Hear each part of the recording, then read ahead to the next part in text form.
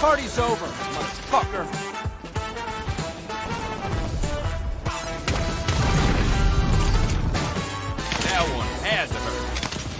在观看了五十分钟的试玩影片后，《黑道圣徒》目前所展现出的素质，让我对本作生出了相当高的期许。就像大家所期待的那样，Volition 工作室在这次的重启之作中加入了天马行空的幽默和大杀四方的乐趣。本作中很明显能看到许多前作的影子，但得益于大量新要素的加入，本作也完全不像是简单回锅翻炒的冷饭。《黑道圣徒》带大家回到了那个纯粹讲究乐趣的开放世界游戏，如雨后春笋般出现了年代。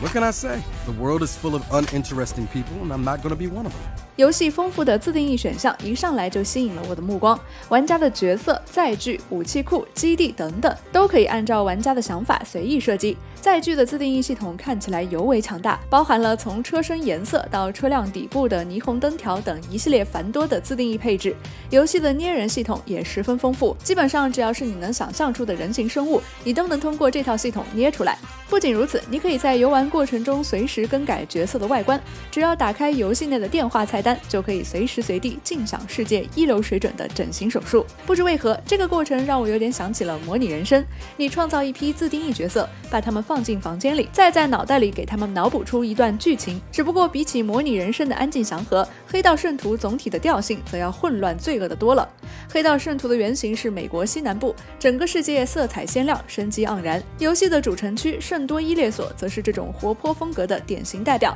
当你漫步在街头之上，你的身边突然蹦出的各种小插曲，会让你深切感受到这一点。有时候不知从哪出现的一支街头乐队会突然开始演奏，甚至你也可以选择从兜里掏出一把吉他，给路过的 NPC 献歌一首，或者给他们狠狠来上一棒槌。正是这种半写实半搞怪的风格，让《黑道圣徒》的风格显得如此独特。游戏不仅仅鼓励你在这个沙盒里大肆搞破坏，很多时候甚至要求你这么做。本作的整体风格大概介于《黑道圣徒二》和《黑道圣徒三》之间，既不像二代那样严肃灰暗，又没有三代那么离奇搞怪。从我听到的几句角色对白和玩家 NPC 的互动台词来看，这游戏给了我不少《看门狗二》的感觉。虽然有些人可能对这种内容不太感冒，但作为《看门狗二》的粉丝，我认为这是一个优优点。本作的黑道圣徒的乡村元素可能比你想象的要多得多，比如这种点缀着各种人类活动的大片荒漠，这些沙漠的视觉效果不错，撞碎路边仙人掌时带起的沙土飞扬还是很养眼的。这些大片的开阔地区正是本作的载具大显身手的机会。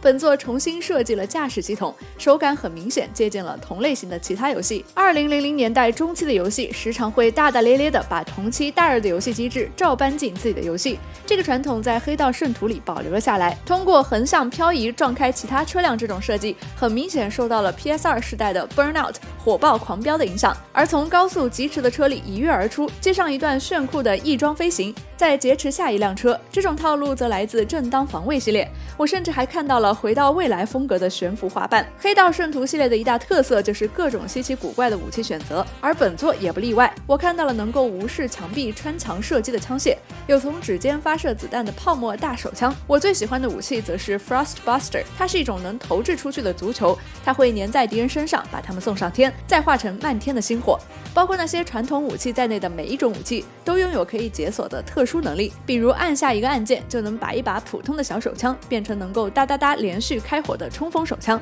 游戏的动作风格也是经典的卡通浮夸，但看起来十分流畅。捡起敌人的武器，把他干掉，纵身跳进一辆路边的跑车，逃之夭夭，再爬上车顶干掉前来追击的敌人。这一切看起来都十分酷炫。子弹击中敌人的时候，有点像打在海绵上，而且敌人通常都需要好几枪爆头才能干掉。虽然看起来有些离谱，但这也一直都是《黑道圣徒》系列的魅力所在。游戏内可解锁的内容看起来十分丰富，比如各种动作招式。这个名叫 Pineapple Express 的招式能让玩家把手榴弹塞进敌人的嘴里，再扔回敌人堆里。此外，还有一些技能和能力值，让你能够更加深入的定制游玩风格。游戏的战斗多样性也不错，不同的敌人阵营拥有不同的战斗方式以及独特的 BOSS。从我目前看到的情况来看，《黑道圣徒》的随机事件和其他的开放世界游戏差不多，比如炸开街头随机出现的运钞车的门来抢劫钞票之类的。除此之外，还有一些设计好的流程支线任务，主线任务也是经典的开放世界打打杀杀风格，各种追车和射击，中间再掺杂一些爆炸的大场面，比如借来一架武装直升机把敌人的据点炸开花，然后飞机降落，你亲身闯入爆炸后的现场，清扫剩余成员，扩张你在城市里的势力。还有一些模式能让你直接把剧情抛在脑后，享受纯粹的乐趣。其中一个叫做 Mayhem 的模式，需要你在一定的时间内造成尽可能多的伤害，这就是最纯粹的黑道圣徒的乐趣。